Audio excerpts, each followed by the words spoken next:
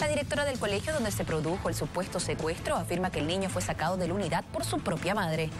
El anuncio del profesor que decía de que una mamá vino para hablar con su niño. Él estaba dando examen. Fue la explicación que brindó la directora de la unidad educativa de donde desapareció el menor, la cual llegó acompañado del padre del niño hasta la policía. Luego se abocó a, a vigilar a los demás estudiantes cuando la portera vio que el niño salía por la parte de atrás porque no tiene barda, no tiene barda, sino es un, un enmallado. Reconoció que la portera no cumplió con las normas de la unidad educativa a la hora de controlar quién ingresa al colegio. Ella no tiene, no tiene permitido dejar entrar a ningún padre de familia en horas de clase.